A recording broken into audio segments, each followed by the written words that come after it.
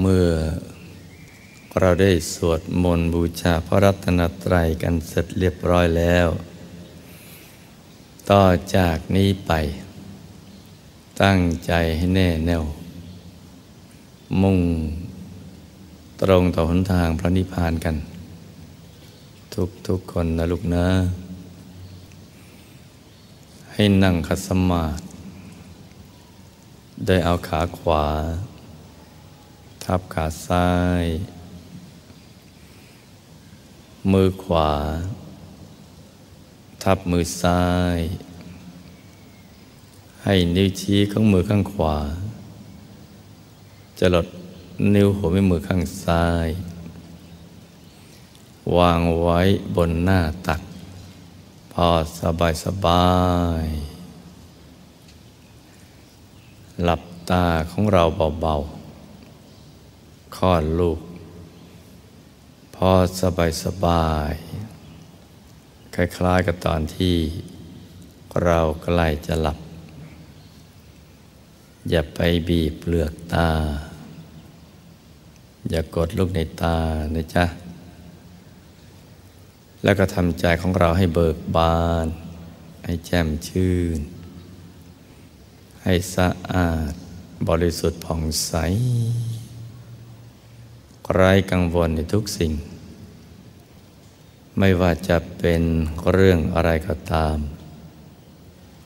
ให้ปลดให้ปล่อยให้วาง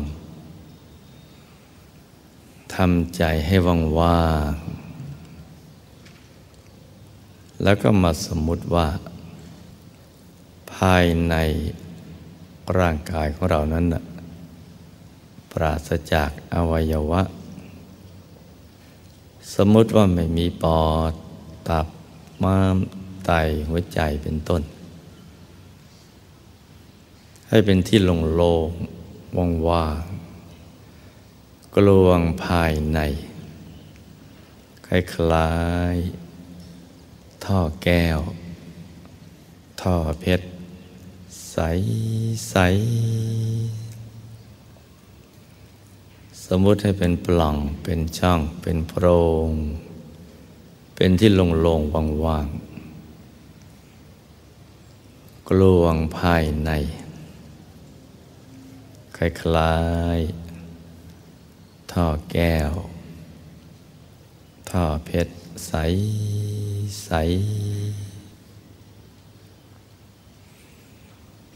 คราวนี้เรามานึก ทวนคำสอนของพระเดชพระคุณ พระมงคลเทพมุนี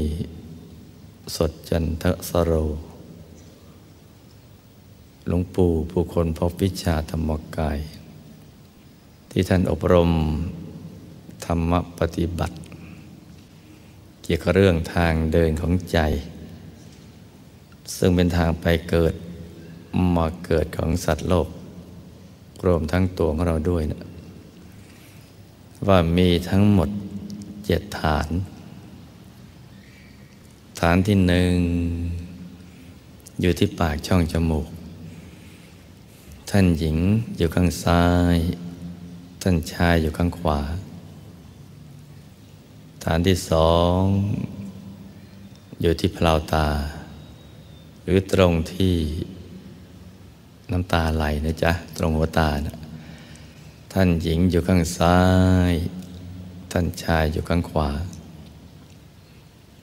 ฐานที่สามอยู่ที่กลางกักศีรษะ กลางกักศีรษะในระดับเดียวกับหัวตาของเรา ฐานที่สี่อยู่ที่เพดานปาก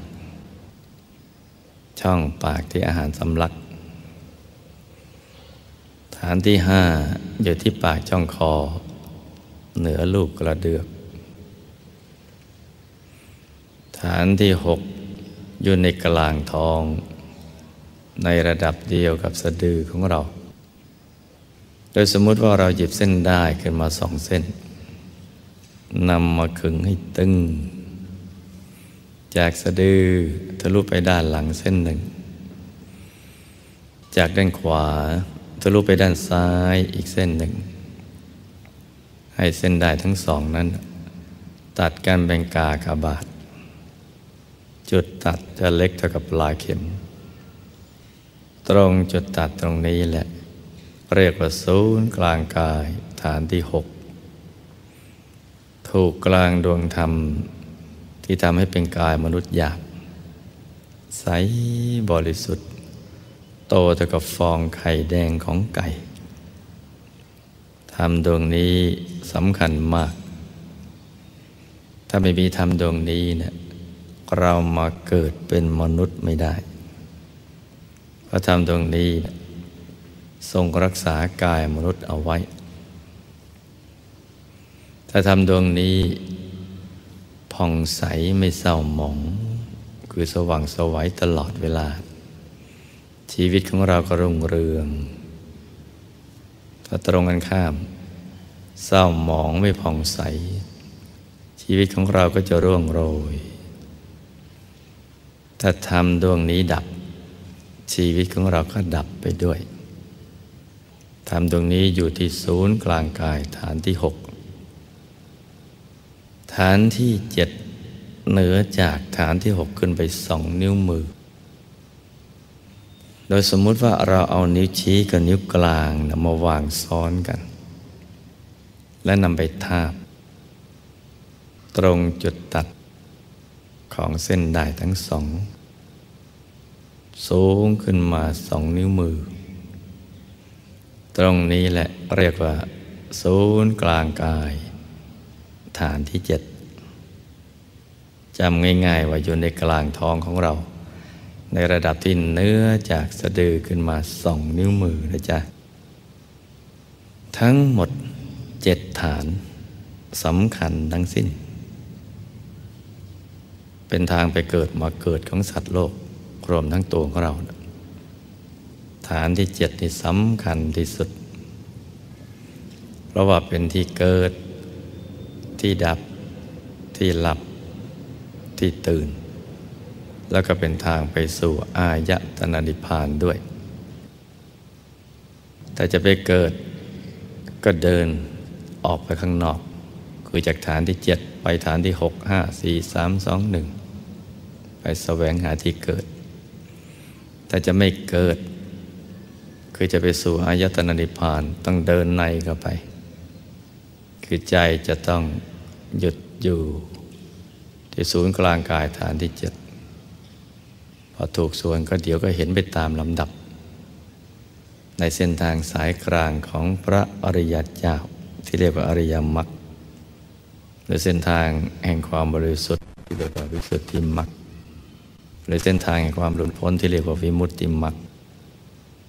ไปสู่อายตนะนิพพาน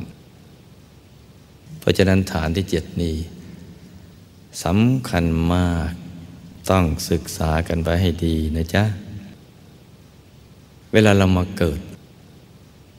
เราเป็นกายละเอียด มาเข้าที่ปากช่องจมูกของบิดา แล้วก็มาตามฐานต่างๆ ฐานที่หนึ่งสองสามสี่ห้าหกแล้วก็มาจุดที่ฐานที่เจ็ดของบิดา พอมาอยู่ตรงที่ฐานที่เจ็ดของบิดาเนี่ยบิดาเนี่ยจะแพ้ท้องก่อนนะ แต่ไม่รู้ตัวหรอก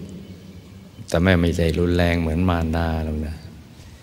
เดี๋ยวนี้นักวิทยาศาสตร์เขาทำการวิจัยเขาพบ ว่าบิดาเนี่ยแพ้ท้องได้ นี่ค้นกันตามหลังพระสัมมาสัมพุทธเจ้านะจ๊ะ แต่ว่าไม่ได้รุนแรง เพอมาอยู่ฐานที่เจ็ดของบิดา ก็บังคับบิดาให้ดึงดูดไปหามารดา เพื่อที่จะประกอบธาตุทำส่วนหยาบ ที่จะเอาธาตุทำส่วนหยาบนั้นห่อหุ้มกายละเอียดของเราเอาไว้ เมื่อประกอบธาตุทำกระถูกส่วน เราก็เคลื่อนย้ายจากกายละเอียดเราเคลื่อนย้ายจากฐานที่เจ็ดของบิดา ออกไปฐานที่หนึ่งเข้าสู่ปากช่องจมูกของมารดา ไปสู่ฐานที่เจ็ดฐานที่เจ็ดของมารดา แล้วก็ธาตุส่วนหยาบก็ห่อหุ้มกันไป มารดาก็ ระดูขาด เจริญเติบโตด้วย เลือดอาหารของมันดาที่หล่อเลี้ยง เจริญเติบโตกันเรื่อยมา นี่มาเกิดมาอย่างนี้ เวลาไปเกิดคือตาย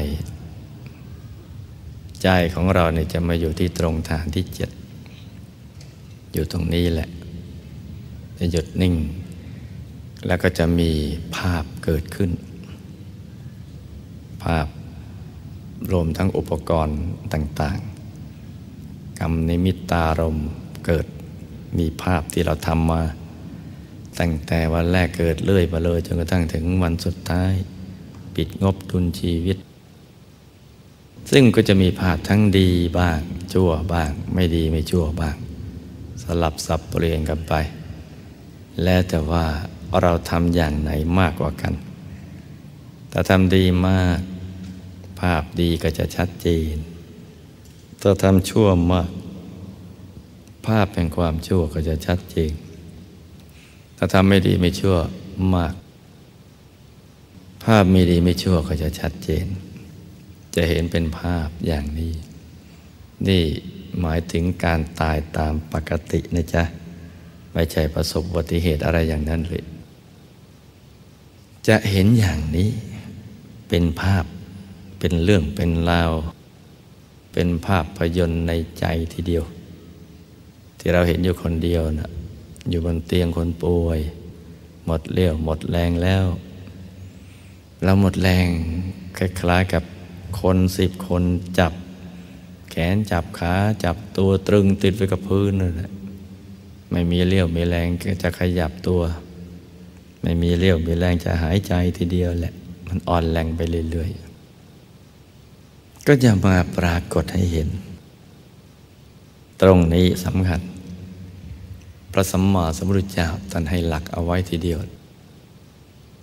ถ้าจิตผ่องใสไม่เศร้าหมอง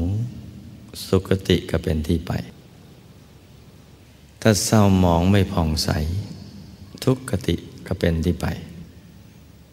นี่ใสกับหมองนี่จึงสำคัญทีเดียวนะจ๊ะ เพราะทุกชีวิตนั่นนะจะต้องไปสู่ปรโลก ไม่ว่าเราจะมีความเชื่อหลากหลายแค่ไหนก็ตาม แตกต่างกันยังไงก็ตาม หรือจะไม่เชื่อเรื่องปรโลกก็ตามก็ต้องไป เป็นเรื่องที่หลีกไม่พ้น หนีไม่ได้ ต้องไปนะจ๊ะ ต้องไปสู่ปรโลก ซึ่งมีคติเป็นสองทางคือสุคติกับทุกติ สัมมาสัมพุทธเจ้าให้สู่ชีวิตเอาไว้ ถ้าพองใสไม่เศร้าหมองสุคติเป็นที่ไป ถ้าเศร้าหมองไม่ผ่องใสทุกขติเป็นที่ไป หมองกับใสสำคัญมาก แล้วมันมาหมองกับใสตรงนี้แหละ ตรงฐานที่เจ็ดตรงนี้แหละ เห็นอยู่คนเดียว เพราะฉะนั้นเมื่อเรารู้หลัก วิชาอย่างนี้แล้วเราก็ จะต้องทำตรงนี้ให้มันใสเสมอ ต้องทำให้มันใสใส ใจจะได้สบาย ภาพดีๆ จะได้เกิดขึ้น แล้วเราก็จะได้ไปสู่สุคติ ชีวิตหลังจากตายแล้วเนี่ยมันยาวนานกว่าชีวิตที่เป็นมนุษย์ ยาวนาน เป็นหมื่นเป็นแสนเป็นล้านเป็นหลาย ๆ ล้านปี จะเรานึกไม่ถึงทีเดียว คาดไม่ถึง เหลือเชื่อ แต่ว่ามันก็เป็นความจริงพอพระสัมมาสัมพุทธเจ้าเนี่ยท่านหมดกิเลสแล้ว มีญาณทัศนะอันบริสุทธิ์ เห็นได้รอบตัวทุกทิศทุกทาง ไม่มีอะไรกำบังท่านได้ จะเห็นอะไรไปตามความเป็นจริง ท่านก็นำมาเปิดเผย ให้เราได้รับทราบ โดยมหากรุณาของท่านนั่นแหละโดยจิตอันบริสุทธิ์ไม่มีอะไรแอบแฝงเลยโดยรักและปรารถนาดี อย่างแท้จริง จะให้ทุกๆชีวิตเนะี่ยไปสู่สุคติจนกระทั่งไปสู่สุขโตคือไปนิพพาน เพราะฉะนั้นคำสอนของท่านนะ จึงเป็นสิ่งที่เป็นจริงแท้ ที่เรายังมีกิเลสหนาปัญญาหยาบจะต้องฟังท่าน จะต้องเชื่อ แล้วก็จะต้องปฏิบัติ เพื่อพิสูจน์ว่าสิ่งที่ท่านพูดนั้นนะสอนมานั้นนะมันจริงแค่ไหน แต่ตอนนี้จำเอาไว้ว่า เราจะต้องทำให้ใจใสเสมอ ที่ศูนย์กลางกายฐานที่เจ็ดเราจึงจะปลอดภัย จากอบาย การจะทำให้ใจใสได้นั้นนะเราจะต้องนึกถึงสิ่งที่ทำให้ใจใส คือนึกถึงสิ่งที่บริสุทธิ์ เช่นพระรัตนตรัยหรือความดี คือบุญกุศลที่เราได้กระทำเอาไว้ อย่างใดอย่างหนึ่งนั่นแหละ จึงจะทำให้ใจของเราใส จะนึกถึงความดี ไอทานรักษาศีลเจริญภาวนา ในบุญยกริยาวัตถุสามประการก็ตาม หรือในบุญยกริยาวัตถุสิบประการ หรือกุศลกรรมบทสิบอย่างอะไรก็ได้และลึกให้ใจใสใสพอเรานึกถึงความดีแล้วมันปลื้มว่าคนอย่างเราเนี่ยเกิดมาแล้วเนี่ยได้สั่งสมความดี ได้ทำความดีด้วยกายด้วยวาจาด้วยใจ ตั้งให้ทานรักษาศีลเจริญภาวนาดำเนินชีวิตอยู่ด้วยความไม่ประมาท เติมความบริสุทธิ์ความดีงามของเราเอาไว้เรื่อยๆ มันปลื้มพอปลื้มปิติใจมันก็ใส นี่วิธีหนึ่งนะจ๊ะ อีกวิธีคือทางลัดระลึกนึกถึงพระรัตนตรัย นึกถึงพระพุทธเจ้า นึกถึงคำสอนของท่าน หรือนึกถึงประสงค์สาวก ผู้ประพฤติดีปฏิบัติชอบ อย่างนี้ก็จะทำให้ใจเราใส เบิกบานสบาย แต่ละโลกเราก็มีสุขติเป็นที่ไป ปิดประตูอบาย เปิดประตูสวรรค์ ถ้าจำง่ายๆในการระลึกนึกถึงพระรัตนตรัย ได้มีภาพให้พวกเราดู ที่เราได้ดูก่อนที่เราจะมานั่งหลับตาเนี่ยเกิดขึ้นบนจอ ถ้าจำได้ หรือใครมาไม่ทันเราก็นึกถึงภาพองค์พระที่บ้านก็ได้ แต่ใครมาทันกันนึกถึงภาพบนจอเป็นภาพ องค์พระแก้วขาวใสบริสุทธิ์ นั่งขัดสมาธิเจริญสมาธิภาวนา อยู่ในกลางดวงแก้วใส ๆ หันหน้าออกไปทางเดียวกับตัวของเรา ภาพบนจอจะเป็นภาพท็อปวิว มองจากด้านบนลงไปด้านล่าง นั่นละเป็นสิ่งแทนพระรัตนตรัย เป็นทางลัดให้เราจำภาพนั้นนะจ๊ะ น้อมไว้ในกลางกาย กลางท้อง ซึ่งเรามั่นใจว่าตรงนี้คือฐานที่เจ็ดจำภาพนั้นนะ ให้ชัดให้ใส ให้สว่างอย่างสบายสบายให้จำภาพนี้เอาไว้ให้ดี ให้เป็นภาพติดค้างอยู่ในใจ อย่าให้เลือนจากใจ แล้วก็อย่าให้คลาดจากใจ อย่าให้ใจแวบไปคิดเรื่องอื่นจำภาพนี้เอาไว้ จะทำให้ใจเราใสบริสุทธิ์ ไม่เศร้าหมองนะจ๊ะจำภาพนี้เอาไว้ องค์พระแก้วขาวใสบริสุทธิ์ นั่งหลับตาเจริญสมาธิภาวนา อยู่กลางดวงใสใส แล้วน้อมมาตั้งไว้ที่กลางกาย มองลงไปจากปลายเกศดอกโบตูมของท่าน มองลงไปหรือจะมองคลุมคลุม ให้เห็นภาพองค์พระในดวงแก้วก็ได้นะจ๊ะ อย่างสบายสบายในใจที่เบิกบานที่แจ่มชื่นนี่ทำอย่างนี้ เลื่อยไปเลย ใจจะได้ใส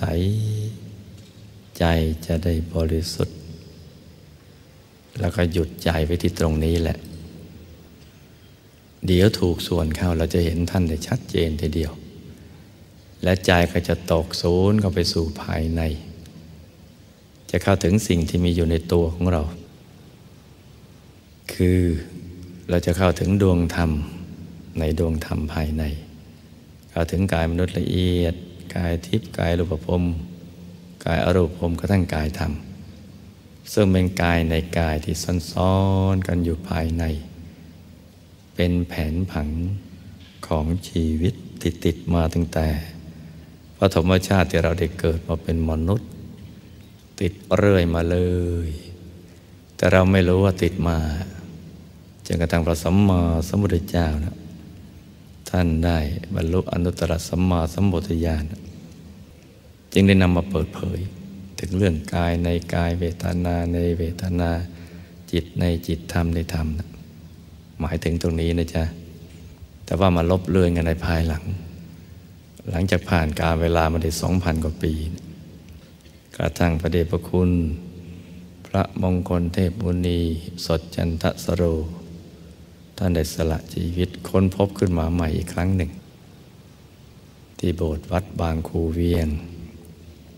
ได้เข้าถึงกายในกาย ธรรมในธรรม เวทนาในเวทนาจิตในจิต สรุปง่ายๆก็คือ ได้เข้าถึงดวงธรรมในดวงธรรม เข้าถึงกายมนุษย์ละเอียด กายทิพย์กายรูปภพกายอรูปภพแล้วก็ธรรมกายอยู่ภายใน เรื่องราวต่างๆ ก็แจ่มแจ้งขึ้นมาอีกครั้งหนึ่งทำให้เราได้พบผลทาง ที่จะดำเนินเข้าไปสู่ภายใน เข้าถึงความสุขที่แท้จริง และเข้าถึงพระรัตนตรัยในตัว ซึ่งเป็นที่พึ่งที่ระลึกของเรา ความเป็นจริงของชีวิตก็ถูกเปิดเผยขึ้น เมื่อเข้าถึงพระรัตนตรัย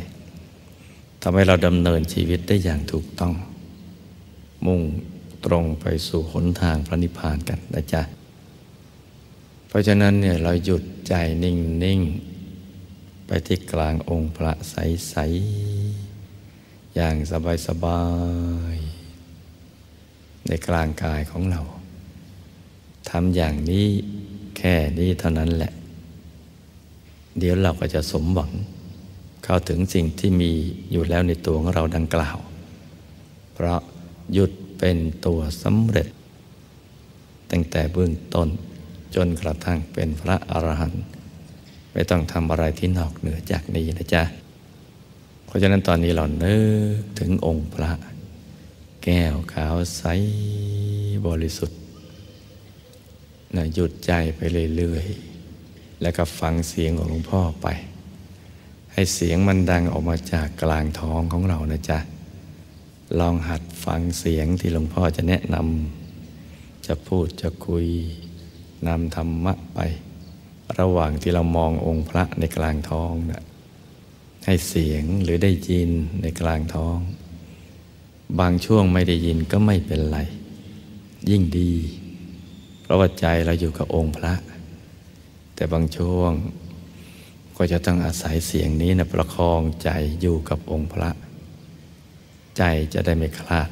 จากพระในตัวนะจ๊ะ วันนี้เป็นวันสำคัญ วันหนึ่งในทางพระพุทธศาสนา คือวันมาฆบูชา เป็นวันมหาสังฆสมาคม ของพระอรหันต์รุ่นแรกหนึ่งพันสองร้อยห้าสิบรูป ที่มารับพุทธโอวาท เพื่อจะได้นำไปเผยแผ่พระพุทธศาสนา ให้เป็นไปในทิศทางเดียวกัน เพื่อประโยชน์สุขของมวลมนุษยชาติทั้งหลาย มวลมนุษย์ก็จะได้สร้างบารมีแต่ดำเนินชีวิตเป็น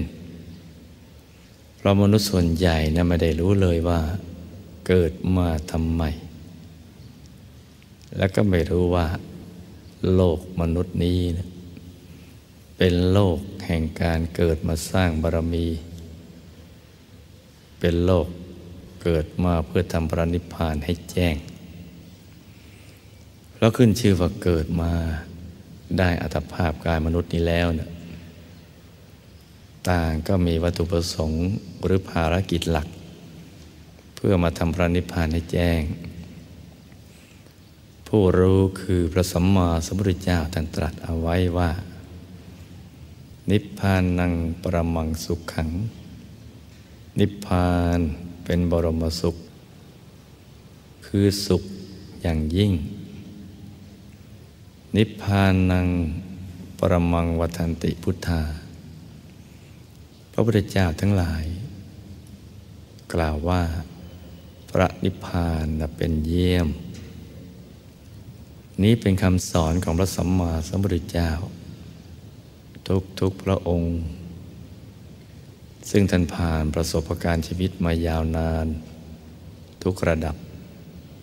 ตั้งแต่จนสุดไปรวยสุด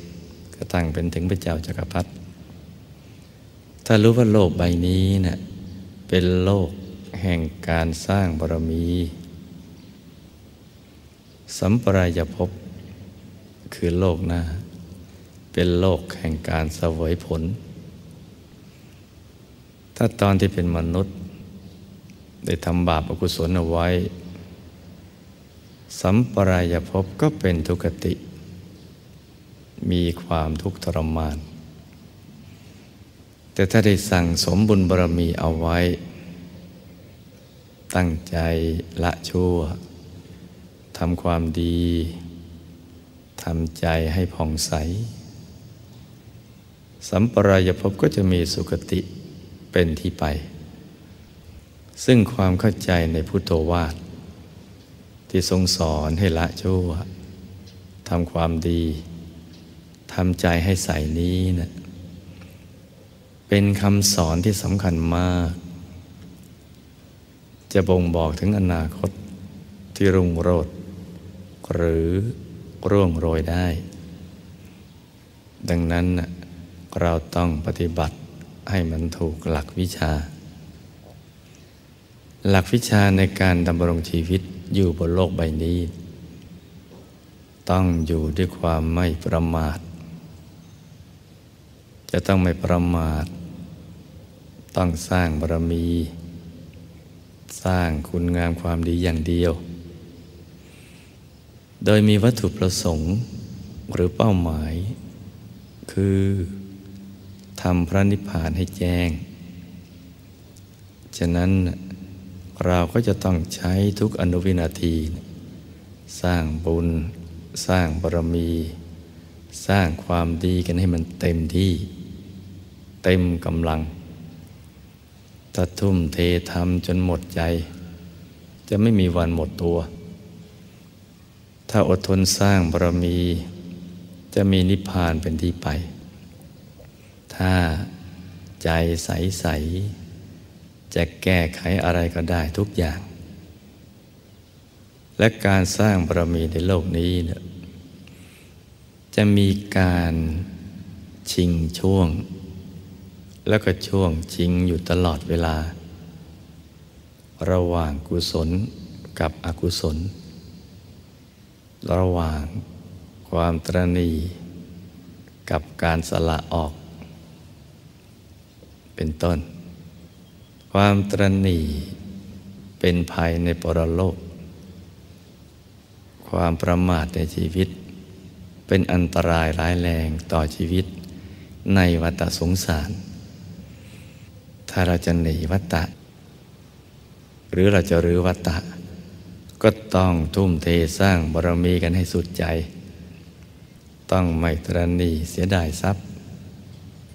เราซึ่งจะได้สมบัติอจินไตยสมบัติจักรพรรดิตักไม่พร่องในภพชาติต่อต่อไป อย่าลืมว่าความตายนะไม่ได้มีนิมิตหมาย ไม่มีใครรู้ว่าจะตายวันไหน เวลาไหน สถานที่ไหน ด้วยอาการอย่างไร เพราะฉะนั้น แม้มีทรัพย์มาก แต่ถ้าไม่ได้สละออก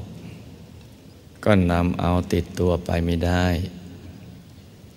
นักสร้างบารมีที่แท้จริง ต้องไม่คิดว่าเราทำบุญมามากแล้ว คราวนี้ทำแค่นี้พอก่อน แล้วก็หวงแหนทรัพย์เอาไว้ไปทำอย่างอื่น ที่ไม่เป็นเหตุหรือไม่เป็นทางมาแห่งบุญบารมี ถ้าเป็นยอดนักสร้างบารมีที่แท้จริง พันหรือวัตตะคำว่าแค่นี้พอก่อน ก็จะไม่มีอยู่ในหัวใจ ของนักสร้างบารมี นักรบกองทัพทำเลย แต่จะทุ่มเทเอาชีวิตเป็นเดิมพัน ในการสร้างบารมี เพราะว่าความตายไม่มีนิมิตหมาย ใสกับหมองกำลังจริงช่วงกันอยู่ บุญกับบาป กุศลกับอกุศลกำลังจริงช่วงกันอยู่ เราต้องชิงช่วงมาสร้างบารมี ก่อนที่จะถูกช่วงชิงไป เพื่อให้มีบารมีมากๆ จะได้ทำพระนิพพานให้แจ้ง เพราะว่าพระนิพพานนั้นนะพระสัมมาสัมพุทธเจ้าทุกๆพระองค์ ตรัสยืนยันเหมือนกันหมด ว่าเป็นเยี่ยมจริง ๆวันนี้วันมาคบูชา เราจะต้องปฏิบัติตามพุทโธวาทเพื่อให้บรรลุวัตถุประสงค์ของการเกิดมาเป็นมนุษย์ ให้ได้เข้าไปถึงพระรัตนตรัยภายใน คือพุทธรัตนะธรรมรัตนะแล้วก็สังฆรัตนะ รัตนะทั้งสามนี้เนะี่ยเป็นที่พึ่งที่ระลึก อันประเสริฐของพวกเราทั้งหลาย สิ่งอื่นที่จะเป็นที่พึ่งที่ระลึกเท่านี้หรือยิ่งไปกว่านี้นะ่ะไม่มีอีกแล้วพระรัตนตรัยนี้เป็นแก่นของพระพุทธศาสนา เป็นหลักของพระพุทธศาสนา แล้วก็เป็นหลักชัยในชีวิตของเรา และชาวโลกทั้งหลายพระรัตนตรัยคือ พุทธรัตนะ ธรรมรัตนะ และก็สังฆรัตนะ มีทั้งภายนอกและภายในตาพุทธรัตนะภายนอก ก็หมายเอาพระพุทธเจ้า หรือพุทธปฏิมากร ซึ่งเป็นตัวแทนของพระองค์ท่าน ธรรมรัตนะก็ได้แก่คำสั่งสอนของพระสัมมาสัมพุทธเจ้าแปดหมื่นสี่พันพระธรรมขันธ์ สังฆรัตนะก็ได้แก่พระสงฆ์สาวก ที่ฟังคำสั่งสอนของพระองค์ท่าน ได้เข้าถึงธรรม เป็นพยานในการตัดสู้ธรรมของพระองค์ท่าน แล้วก็นำไปแนะนำสั่งสอนชาวโลก นี่เป็นพุทธรัตนะ ธรรมรัตนะ สังฆรัตนะภายนอก แต่ที่เรากำลังปฏิบัติอยู่นี้นะ เรามุ่งให้เข้าไปถึงพุทธรัตนะ ธรรมรัตนะ สังขรัตนะภายใน ที่สถิตอยู่ที่ศูนย์กลางกายฐานที่เจ็ดของพวกเราทุกๆคน ซึ่งการจะเข้าถึงพระรัตนตรัยภายในได้ ต้องทำใจให้ยุดให้นิ่ง เพราะ หยุดเป็นตัวสำเร็จ หยุดเป็นตัวสำเร็จ ที่จะทำให้เราได้เข้าถึง สิ่งที่มีอยู่ในตัว ที่เป็นแผนผังของชีวิต ให้เราได้เข้าถึงพระรัตนตรัยในตัว ดังที่ได้กล่าวเอาไว้เบื้องต้น หยุดอย่างเดียวถึงจะเข้าถึงได้ แต่ใจไม่หยุด ก็เข้าถึงไม่ได้ ฉะนั้นเบื้องต้น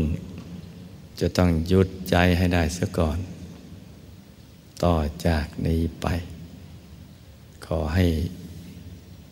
ลูกทุกๆคน เอาใจนำมาหยุด อยู่ที่องค์พระ กลางดวงแก้ว ซึ่งเป็นภาพที่ปรากฏบนจอแล้วเราจำกันได้นะ หยุดนิ่งนิ่งอย่างสบายสบายทำใจของเราให้เบิกบาน ให้แจ่มชื่น ให้สะอาดบริสุทธิ์ผ่องใส อย่างนี้แค่นี้เท่านั้นนะจ๊ะ แล้วก็ให้อยู่กับพระรัตนตรัยในตัวอย่างนี้ทั้งวัน จนกระทั่งไปถึงยามค่ำซึ่งเราก็จะได้ประกอบพิธี จุดมาคะประทีปเป็นพุทธบูชาแด่พระสัมมาสัมพุทธเจ้าและพระอรหันต์ทั้งหลาย ดังที่เราได้เคยประพฤติปฏิบัติสืบเนื่องกันมายาวนานทีเดียว เพราะฉะนั้นตอนนี้หยุดใจไปที่ศูนย์กลางกาย ฐานที่เจ็ดที่กลางองค์พระมองตรงปลายเกศของท่านลงไปเลย เกศดอบัวตูม ตั้งอยู่บนจอมกระหม่อม บนประเสียน ที่มีเส้นประศกหรือเส้นผม ขดเวียนเป็นทักษิณาวัด หมุนขวาตามเข็มนาฬิกานะเรียงรายกันอย่างมีระเบียบ ใสบริสุทธิ์ทีเดียว มองไปจากด้านบนลงไป อาจจะเห็นคุมคลุมไปหมดเลยนะจ๊ะ ท่านนั่งขัดสมาธิเจริญสมาธิภาวนา หันหน้าออกไปทางเดียวกับตัวเรา วางใจเบาๆนะจ๊ะค่อยๆทำใจนิ่งๆนุ่มๆละมุนละไมสบายๆค่อยๆนึกไปเรื่อยๆจำภาพ องค์พระให้ดี แต่อย่าไปเค้นภาพนะจ๊ะ แต่ถ้าจำไม่ได้ก็วางใจนิ่งเฉยๆ จะภาวนาสัมมาอรังในใจไปด้วยก็ได้ ต่างคนต่างทำกันไปเงียบๆนะจ๊ะ